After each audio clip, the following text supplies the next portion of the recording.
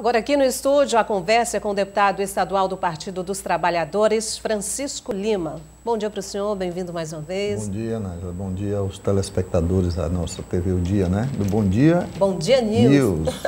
Bom, antes da gente falar, se aprofundar mais na política, eu queria já pegar um gancho do nosso Janela Política, que é um quadro que a gente tem aqui dentro do Bom Dias, e hoje foi mais voltado para essa questão do coronavírus, que realmente está mexendo com o mundo inteiro e até próprio presidente, que achou que era fantasia, está quase sentindo na pele a gravidade da situação. E eu lembrei que o senhor fez cobranças mais sérias por parte do governo federal na tentativa de combater esse vírus. É, primeiro, o presidente disse que é fantasia, não é? Diz que não tem mal que não traga um bem, não é? Foi preciso um membro da equipe dele, de fato, ser acometido para poder saírem as medidas. É, a outra é quando o mundo inteiro está desestimulando qualquer concentração e ele estava convocando é, para uma mobilização nacional contra o Congresso e, e o STF. E ontem à noite ele usou as redes nacionais, porque ia ser um fiasco, na verdade, a mobilização do dia 15, não sei se por conta de coronavírus ou de qualquer outra coisa, mas a gente percebia isso. E aí ele usou para desconvocar, quer dizer, isso é brincadeira é, inclusive ele que negou essas histórias. Mas o importante é que agora é, o governo precisa se dar conta. E ontem nós apresentamos um requerimento na Assembleia convidando a equipe da Secretaria de Saúde do Estado, que elaborou há uns 10, 15 dias atrás já um plano de, contingência, de contingenciamento, é, de prevenção preventiva é, de qualquer ameaça aí do coronavírus. Né? Então vamos, devemos nos reunir essa semana na Comissão de Saúde e eu também apresentei um projeto de lei que ratifica, que complementa é, as resoluções, os decretos a nível nacional, para dar agilidade ao executivo é, e até aos municípios, em caso de ter um surto, de ter. Espero que não, eu espero Sim. que as nossas ações preventivas né, é, gere isso, promova uma mobilização da sociedade, incluindo não só o poder público, mas principalmente a sociedade civil, a iniciativa privada, as igrejas, todo mundo.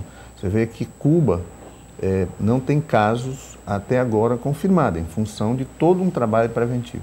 E a ironia do destino é que Cuba estava sendo questionada é, dentro do Mais Médio, por uma medida ideológica. Agora existe, o Ministério reanalisa a possibilidade de convocar os médicos cubanos para ajudar nas medidas aqui no Brasil. Então, imagine o que, que é isso, né? Então, eu costumo dizer que a natureza, é, ela é regida por forças superiores. E quando os homens e as mulheres não são capazes de compreender isso, a natureza se encarrega de tomar as medidas. Viu? Eu também acredito muito nisso. Inclusive, a gente comentava também que, diferente do governo federal, o governo do Piauí agiu com prudência. Cancelou, a, adiou a solenidade da Batalha do Genipapo, que estaria acontecendo nesse momento isso. lá em Campo Maior. E o próprio secretário Florentino Neto marcou para hoje, às nove, nove e meia da manhã, uma reunião com todos os diretores, justamente para estar, estar detalhando esse plano que o senhor citou, que já foi elaborado, de uma forma mais ampla, uma questão de prevenção. É claro, é, esse tipo de, de epidemia ou de pandemia, como estamos dizendo, ela sempre exige medidas preventivas. Né? O simples fato de higienizar as mãos, né, de evitar contato com gente que possa ter algum grupo, isso já ajuda bastante. Agora, tem uma coisa que a gente precisa discutir. É, as farmácias, os supermercados, não têm mais álcool gel e uma elevação dos preços. Isso é, isso é lei de mercado, mas isso é lei da brutalidade ou da falta de sensibilidade empresarial. Isso não pode acontecer. Então, é quem mais, todo mundo é, é, acometido, mas quando você eleva, você prejudica a parte mais pobre, que é sempre a parte mais vulnerável. Então, acho que o empresariado precisa ter cuidado. Hoje nós temos redes estaduais de farmácia, por exemplo, mas temos várias redes nacionais que precisam também é ter esse cuidado é, e contribuir também com sua parte, não ficar sendo regido apenas pela lei de mercado, porque isso é desumano. Excelente observação, até porque a situação não é de festa, e sim de cuidado com a saúde, um vírus que está propagado no mundo inteiro e que pode matar e está matando. Enfim, vamos falar de Alep. Recentemente é, foram formadas é, novas comissões técnicas, houve a formação de novas comissões técnicas, se não me engano, administração e finanças, a qual o senhor está presidindo. Missão nova, deputado? É claro, é sempre uma missão. A gente está no parlamento, quando eu fiz a opção de permanecer no parlamento, então foi com esse intuito de colaborar com o debate, com as discussões, ajudar na tramitação dos projetos e outras e outros instrumentos adotados pela Assembleia. É? Então, é, o ano passado eu fiquei à frente da liderança, este ano eu, é, me foi, meus pais propuseram que eu assumisse a presidência da Comissão de Finanças. E estamos lá para servir, para colaborar é, com o desenvolvimento é, do Estado do Piauí. Então, tem sido esse o nosso propósito é, no Legislativo, no Executivo, em qualquer lugar. Como é que a Assembleia está reagindo hoje ou agindo hoje em relação aos professores da rede estadual? O projeto foi apresentado pelo Executivo, dois projetos, um relacionado ao, ao magistério, à categoria dos professores, não é? e um outro ao conjunto dos servidores. Esses projetos já foram, foi designado um relator na primeira reunião da Comissão de Constituição e Justiça, da qual eu faço parte também, é, já foi apresentado o relatório, é, dois parlamentares pediram vistas e deveremos votar é, na próxima terça-feira. Então, ali ele concede é, a, o reajuste da inflação em mais 1%, né, incorpora é, o auxílio alimentação já como reajuste e, e, concede um novo auxílio alimentação não só para os professores, mas para todos os os servidores. E não só para quem está nativo, inclusive para os aposentados. Então, veja só, o Piauí como é, um dos estados que, independente do reajuste concedido pelo governo federal, ele já paga acima do piso salarial, né, do piso salarial estabelecido é, por lei federal. Então, eu acredito que na próxima semana nós deveremos votar na CCJ e, se possível, é, estamos trabalhando aí a possibilidade de uma audiência pública também. É importante fazer esse debate com a categoria dos professores, com a sociedade. Quem que não gosta de conceder reajuste? Todo mundo gosta. Eu, por exemplo, gostaria de pagar os melhores salários lá no gabinete da Assembleia Legislativa. Porém, eu tenho um limite, não é, não é ilimitado. Então, eu tenho certeza que o governador Wellington também gostaria. Salário só é bom primeiro. O segundo em diante já está inflacionado, viu? Todo mundo que é assalariado sabe disso. Quem não gostaria de ter. Um pouco mais? Mas todo mundo tem seus limites. Né? Agora está sendo tratado em caráter de urgência, porque a situação acho que exige, não é, deputado? Não foi pedido é, caráter de urgência oficialmente, mas ontem eu estive em Piripiri com o governador, acompanhando lá é, as famílias atingidas lá pelas enchentes, e na volta a gente conversava e e ele pedia para dar celeridade a isso. Eu acredito que, é, que se a gente conseguir votar, é, se conseguir votar na terça-feira, eu acho que essa semana a gente vota, na, na vai para mais outra comissão e aí devemos ir para plenário. Então o governador está apressado porque quer conceder o mais rapidamente estes reajustes, não é?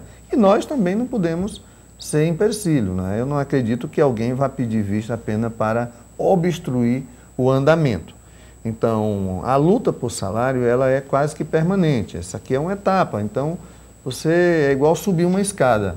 Né? Não dá para chegar no terceiro ou quarto grau se você não subir o primeiro. Então, isso aí foi o que foi nesse momento ofertado. Vamos votar e vamos continuar a mobilização em torno é, é, da melhoria salarial e de outras questões a nível da educação. Pois é, claro que o Estado tem a sua tarefa de casa para fazer, que é essa é. questão do reajuste dos professores da rede estadual de ensino. Mas como é que o senhor está avaliando essa, essa mesma greve, só que agora com os professores municipais? Já há três dias eles presentes na Câmara Municipal. Ontem a sessão teve que ser suspensa por conta do tumulto, talvez não de propósito, mas houve agressão. E aí há quem diga que o prefeito Firmino Filho não está dando muita atenção para esse ponto e mais se preocupando com a política, inclusive com alguns ataques ao governo do Estado?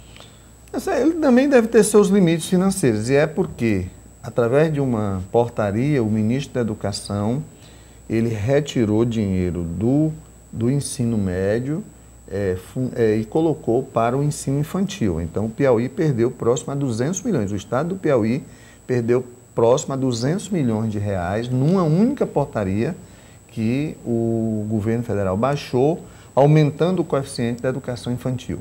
Porque se ele, ele. Qual era a lógica dele? Era prejudicar os governos estaduais, ao invés de ele tirar do governo federal e repassar para os municípios, para compensar o piso, o piso nacional de salário, porque senão quebraria vários municípios. Então ele tirou dos estados e passou para os municípios. Então, esse é um dos problemas. O governo federal sempre, ao invés de compartilhar a parte, porque o Fundeb, na verdade, ele é mantido pelos estados e municípios. Então, o Estado do Piauí contribui mais com o dinheiro do, é, do Fundeb, inclusive dos municípios, do que ele recebe do governo federal. Então, essa é, uma, é um equilíbrio. É um fundo geral, onde todo mundo bota lá um percentual e depois é compartilhado com base em regras da lei do Fundeb. Então, é, o prefeito também tem suas limitações, não é? Agora, é, como tem eleição municipal, o que a gente tem percebido é, e eu estou, inclusive, estranhando a postura do Firmino, ele sempre mantém uma certa calma, não é? mas ele, primeiro, é, os ataques constantes, a orientação, inclusive as lideranças na Assembleia que são vinculadas a ele, para atacar é, o, o, governo estadual e também, é, ao mesmo tempo, é politizando demais qualquer ação, até certo ponto, digamos, cometendo é, digamos, é, irregularidade ou é, quando vai nos atos públicos, não pode fazer campanha lá nos atos públicos, você pode fazer debate. Você pode fazer debate sobre funcionamento de uma área. Eu vi um vídeo dele num hospital e digo, esse não é o Firmino que eu conheço. Será que ele, o que é que está mexendo, né? Surpreendeu muita eu gente. Eu fico muito, quando eu vejo alguém, em véspera de eleição, muito nervoso, a impressão que eu tenho é que o negócio está sem controle. Daí é, é um indício de que pode estar com medo de perder a eleição. Esse mesmo pensamento do senhor tem o vereador Dudu. pois é. Então eu, eu acho que é isso. Eu, eu realmente estranhei essa postura. Acho que cada um tem que mostrar é, o que fez, não é? Por que que está é, tá apresentando o seu sucessor. Eu acho que é isso. Acho que o povo não quer mais ver baixaria, ataques. Eu acho que o povo quer ouvir propostas exemplo, eu sou defensor da candidatura, é, da pré-candidatura do deputado Fábio Novo, porque conheço a sua competência, convivo, conheço o Fábio há muitos anos, desde a época que nós fomos dos movimentos das rádios comunitárias. Conheci Fábio como vereador, como secretário, como deputado. É um, então, acho que o Fábio tem condições, mas eu insisto com ele. Já hoje pela manhã nós trocamos uma mensagem pelo WhatsApp. Fábio, evite ataque a qualquer pessoa. Diga o que, é que você está propondo, diga o que, é que você está fazendo, o que, é que você já fez. Eu acho que esse é o propósito da população. Nada de desespero. Eleição a gente ganha e a gente perde. Mas tem duas coisas que a população não perdoa. Né? É, o primeiro é mentira é, e o depois são as falsas promessas. Eu acho que a população não. E nem é, nem é justo você ficar usando os meios de comunicação para agredir A ou B ou C. Acho que você tem que apresentar o que é que eu proponho para melhorar a vida dos teresinenses. Então, acho que é simples. Não é? Então, a prefeitura é uma coisa, o governo é outra. São coisas diferentes, apesar de complementares. Ok, deputado, quero agradecer a vinda do senhor, desejar um ótimo dia e volte outras vezes. Tá, muito obrigado, eu que agradeço, sempre à disposição. Obrigada.